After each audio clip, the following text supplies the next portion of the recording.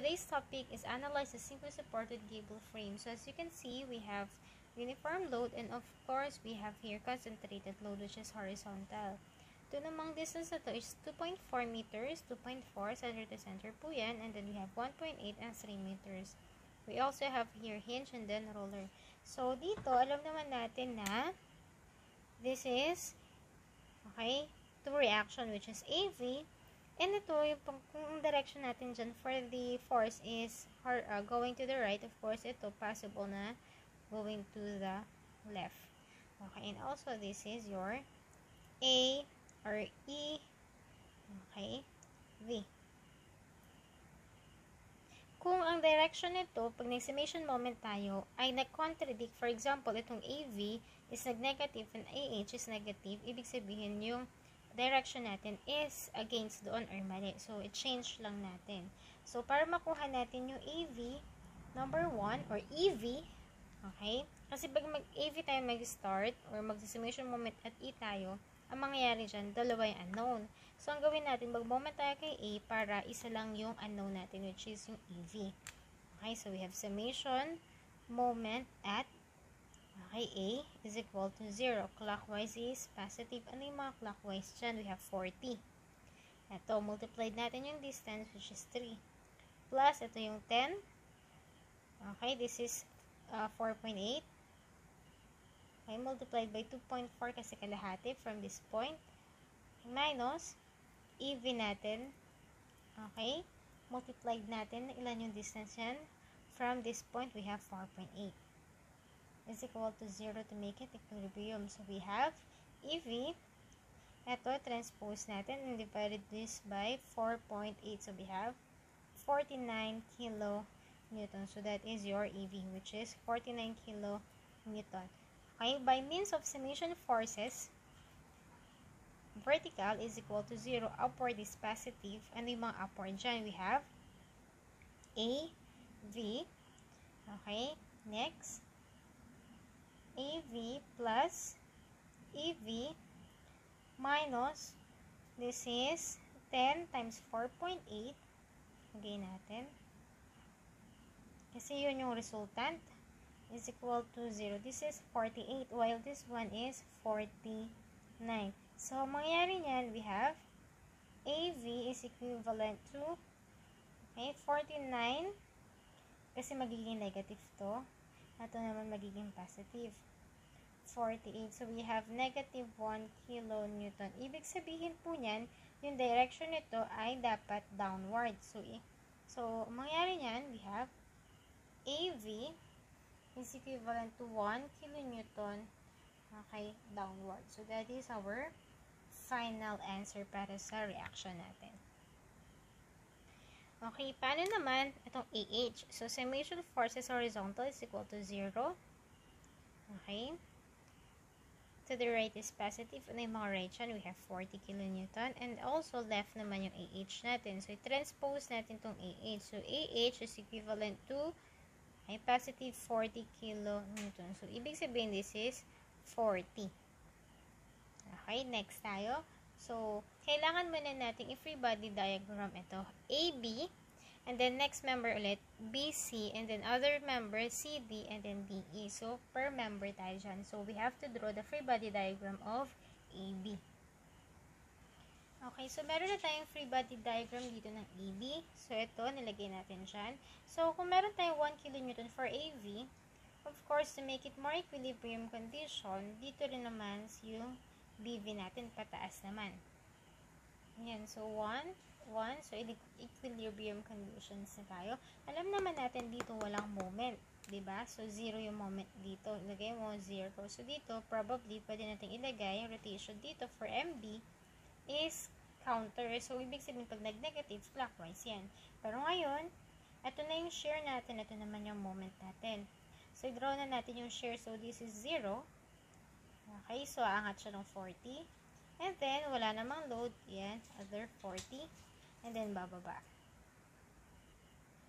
So, ngayon, hanapin natin si MB. So, paano makuha si MB? So, summation moment at, pwede tayo mag-moment at B para makuha natin yan clockwise is 0, positive. Okay, so ibig sabihin yung MB mo is negative. Okay, ito naman yung BV mawawala, 40 mawawala. Pero ito 40 meron. So, itong 1 mawawala kasi katapat niya yung B natin. So, 40 na lang yung matitira. So, so ano yan? Clockwise or counter. So, yung rotation niya is pag ganyan, is clockwise. So, plus 40 multiplied by 3. So, is equal to 0. So, therefore, to transpose natin, so it will become positive. So, we have 120 kilonewton meter. So, ibig sabihin, tama yung rotation. So, ito, yung ibig sabihin yung sign yan, papunta daw sa counter yung rotation. So, ito papunta sa counter, so that is 120. So, so to analyze, if this is positive, syempre dapat positive din yung moment natin. So, we have here 20. So, 40, this is 40, multiplied by 3 is 120. So, sakto. Yan, 120. So, that is your moment diagram. Next naman tayo dito sa BC natin. Okay? Lagay nyo lang dyan ha, shade nyo. This is your, okay, AB diagram. Okay, so kinuha ko yung free body diagram ng ano po, BC. So, this is free body diagram of BC natin. So, 10 kN sa kalahati. So, this is C and then B. Alam naman natin ito, yung B kanina is upward, di ba? Yung rotation, yung, yan yan. Okay, yung forces niyan. So, ibig sabihin, pag kinat mo yan sa joints, okay, pababa naman yung isang reaction natin, parang siyan, or forces natin. Yung B, hindi na natin kukunin kasi na, uh, na-compute na natin siya doon kanina sa previous natin, doon sa previous natin na member, which is yung AB. Okay, so dito, we have BV and CV. So, first thing we know is yung cosine dito. Yan, pag kinat natin yan, or din, um, extend natin yan, we have theta. So, sa theta dito, opposite all over, adjacent lang naman tayo. So, tangent, di ba? So, tangent theta is equivalent to opposite, which is 1.8 all over 2.4. So, that is, pag makuha natin si tangent, that is 36.87 degrees. So, 36.87 degrees. Pero, instead of magta-tangent-tangent tayo, mas maganda kapag lalagay na natin dito, your cosine theta is, and then, sine theta. Yung cosine is 0.8. And then, yung sine natin is 0.6. So, saan makukuha yan? Ang ilagay nyo lang po is cosine 36.87. I-type nyo na to sa calculator to. Not nyo, okay? And then, inalagay na ang amount or ang value is 0.8.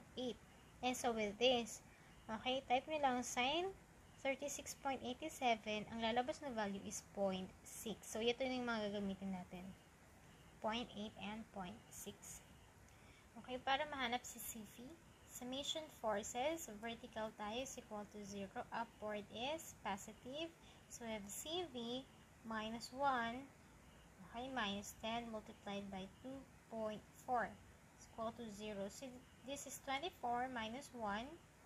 Okay, kasi negative din pareha. So, we have 25 kilonewton. So, that is your CV. Lagay natin dito 25. Okay, next. Dito kasi kanina may moment tayo, di ba? Yung moment natin dito is pag ganyan, yung kanina. Ngayon naman po, gawin natin is, sabi ko sa inyo, sa joints, magiging ganyan siya to make it equilibrium conditions. Kasi kung ito yung joints natin, Okay? Kung ito ay pataas, of course ito ay pababa. Kung ito kanina ay ganyan yung motion, so dapat ito papunta naman dyan yung rotation natin. Of course, kay may moment B tayo dito, meron din tayong moment C dito. Ayan, moment C. So, paano determine si moment C? So, we have summation, moment at, kung ano yung nahanap natin, doon tayo mag-moment ha, para may zero. Okay? Clockwise is positive. Ano yung mga clockwise dyan? Of course, yung 120 is clockwise. Okay? Pero ito, yung rotation nito from this point, papunta dyan, that is counter. So, minus 10 multiplied by okay, 2.4 times 1.2. Okay, meron pa ba? MC. MC is also counter. MC multiplied by, wala na kasi nga, MC na yan. Minus, ito, counter din yan. 1 multiplied by 2.4 is equal to 0. So, what is your MC? Okay, ito i-transpose natin to make it positive. So, we have 120 minus, okay, this is 24 times 1.2 minus 2.4. So, that is equivalent to 88.8 kilonewton meter. So, that is your moment dito. So, 88.8 kilonewton meter. So, ano bang purpose ng cosine natin at saka sine? So, ito po yun. That's why we have here. Kasi ito, ang mangyayari, bababa siya. Okay? So, this is your theta also. So, ibig sabihin, cosine of 1 or 1 times 0.8 is equal to 0.8. Diba? Ito naman po, ito naman siya. Okay? Kung pataas yan, of course, oh, that is also pataas. So, 25 cosine of 36.87 or cosine or 25 times 0.8 is 20 kilonewton. Para saan ito? Dito tayo mag-drawing ng shear and moment diagram. Okay, ito kasi para sa shear. Ano naman yung moment natin? Siyempre, may loading side dito. So, we have to consider also the moment. So, ito, incline din natin. Ito, ayan, ibabagsak din natin yan. Okay, so paano ang bagsak niyan? Ganito. So, ayan yung frames natin. Ito yung kanina, binagsak ko dyan. So, paano yung gagawin natin dyan? Siyempre, cosine pa din. Pero kukunin mo muna yung resultant nito para makuha mo kung ilan ba talaga yung loadings na to. So, erase ko lang to. So, ito yung loadings natin. Kunin muna natin yung resultant nito. Okay? So, this is 2.4. So, 10 times 2.4 is 24. Yung cosine na to, kapag binagsak natin, di ba 24 yan? Okay, 24. Kapag binagsak natin to, ito yung mangyari dyan. So, ayan. So, this is your theta. So, 24 cosine of 36.7, 87, or 24 times 0.8 is 19.2. So, we have reaction na, yeah, 19.2 papunta dito. Yan. So, paano naman kukunin yung kilonewton per meter dyan? Ba ito, ang unit nito, itong 19.2, ang unit niyan is kilonewton. So, ang gawin natin, 19.2 kilonewton, i-divide natin kung ilan yung distance na to. Ilan ba yan? So, by means of, um, ito, Pythagorean theorem, we have 1.8 squared plus 2.4 squared. Okay, that is equivalent to 3 meters. So, ibig sabihin, this is 3 meters. So, 19.2 divided by 3 meters is 6.4 kilonewton meter. So, ilagay natin dito, 6.4 kilonewton per meter. So, magagamit na natin siya for shear and moment diagram. Okay, so ito po yung for sure and moment diagram natin. Okay, so number one is, share muna tayo. Siyempre, V-diagram. Di ba, 0.8 to. Pababa, downward. So, ito yung 0.8. So, 0.8. So, we have 6.4 times 3. Okay, since ang loading yan is negative, negative 6.4 times 3 minus 0.8 So, that is equivalent to, okay, ilagay natin, 20. Okay. Since ito, itong reaction natin kanina is 20. So, 20 minus 20 is 0. So, bababa, and then pupunta dyan. Yan. So, na mapapansin nyo, di ba? This is first degree. Ngayon, kunin naman natin yung area nito para maging resultant natin at magamit natin para sa area natin for your moment. So, ito, lagay natin. Okay, to know the resultant of a trapezoid, syempre, meron tayong B plus B all over 2 multiplied by yung distance natin, which is, we put it as D or H. Okay. Is 0.8 plus 20 divided by 2 multiplied natin ng 3. So, we have, okay, lagay natin. So, this is 88.8 kilonewton meter. O, diba? Sakto rito sa MC natin, 88.8. Okay, so this is, diba? This is negative. Kasi ito yung zero natin. So, ibig sabihin, that is, yung una, 120. So, ilisin natin yan dyan. Meron pala tayong moment dito. Ayun o, 120 upward. Lagay natin siya 120. Umangat siya, 120. 120, i-minus natin ito. That is, okay, ilan po? 88 point, okay, minus 88.8 is 0. So, ilagay natin dito as 0. So, ito pala is 31 point. Nag-direct na kasi ako sa calculations ko. 31.2 kilonewton meter natin for dyan. So, 1, 120 minus 31.2. Ang answer is 88.8. Ayan, nag-direct na kasi ako. Okay, so, yan. Baba na natin to. Yan. Yan. So, we have here 2 degrees. So, this is our moment diagram para sa frame natin for BC. Okay, next naman tayo. Dito tayo sa CD natin. Ulitin ko ha. Yung nakuha natin resultant na to, ito po yun, which is 31.2. Itong moment natin is 120. So, 120 minus 31.2 is equivalent to 88.8. Dapat, magtatali siya sa MC natin, which is 88.8, para malaman natin kung tama ba yung calculations natin o hindi. Okay, dito naman tayo, CD. So, in-isolate natin, or like free body diagram tayo. So, yan yung value. So, first is, we have to determine dV. So, by means of observation, forces vertical is equal to 0. So, na yung mga vertical natin dyan, upward is positive. We have negative 25 kasi pababa, minus 10 multiplied, ito 2.4. Ayan yun, no, 2.4. So, times 2.4. Meron pa ba? Wala na. So, ito pa. Plus dv is equal to 0. So, dv is equal to 24 minus negative 25 minus 24 is 49. So, this is 49 kilonewton. Ayan. So, lagay na natin as 49 kilonewton. Siyempre, kung may moment to, dapat ito rin ay may moment. Diba? So, kailangan natin kunin yung moment dyan. So, summation moment at So, tayo pwede mag-moment. Kung si D ang hinahanap natin, di mag-moment tayo kay D. Diba? Para matanggal natin itong value na to. At makuha lang natin si MD. So, positive clockwise. Okay, 88.8. That is your MC. Okay, meron pa ba? Minus 25 multiplied by this distance is still 2.4. Ito, we have minus 10 multiplied by 2.4 times 2.1. Okay. So, ilan na yung value? That is equivalent to 0. So, lahat yung negative, negative.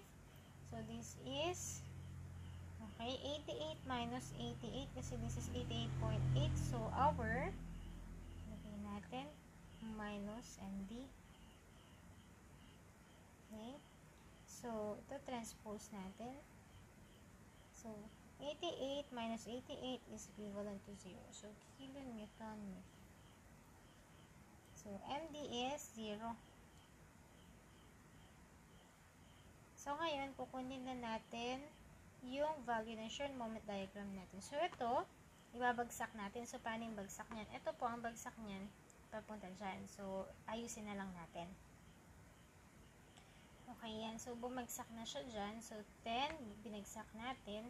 So, kunin muna natin itong resultant natin na to. Diba, ang resultant dito is 24 kasi 10 times 2.4 is 24. So, ilagay natin 24. Ngayon, pag binagsak natin yan, syempre, meron din siya dito, yan, value perpendicular. So, that is theta, diba? Cosine yan. So, 24 cosine of theta, which is 24 times point is 19.2. So, ito kanina, okay, that is 25 times 0.8 is 20. How about this one? So, ayan naman po, okay, 49 cosine of uh, theta is 39.2. kilonewton. So, lagay natin 39.2 kilonewton. So, ito, 19.2 kilonewton, i-divide ulit natin sa 3 meters kasi by means of Pythagorean theorem, is 3. So, 19.2 divided by 3 is 6.4 kilonewton meter. So, that's the time na mag-draw na tayo ng shear and moment diagram. So, ito bumaba ng 20. Okay, next. So, we have 6.4 multiplied by 3 plus 20. So, that is 39.2. So, 39.2 minus 39.2 is 0. Okay? So, lagay lang natin. Kasi, ito ay 0 degree, ito ay first degree. So, yung next natin dito is ano po, dapat ay second degree. Ilagay natin yan dyan. So, trapezoid na to, okay, kunin natin to, area na to. So, we have 20 plus 39.2 over 2 multiplied by 3 is 88.8. Since this is negative, so therefore negative yan. Di ba umangat siya na 88.8? 88.8 positive. So, 88.8 positive minus negative 88.88 is 0. So, ibig sabihin, mag-zero na yung moment natin dyan. Okay, next naman tayo is dito which is DE. Yung mga values natin sa shear moment diagram is mamaya ipagko-connect natin. Okay? So, dapat ang pag-analyze niyan is isa-isa and then afterward, i-consider natin whole structure for shear moment diagram. Okay? Dito naman sa member DE natin, di ba kanina pataas itong DV natin, ngayon naman pababa na siya, so 49. Since wala tayong moment dyan, that is equivalent to 0. Next, this is for EV, so 49 minus 49 is 0, so that is equilibrium condition, so okay tayo dyan. Next, consider natin yung whole structure para sa shear and moment diagram. So, ito na yung shear diagram natin ano ito na yung M diagram natin. So, that's it for the simple supported gable frames.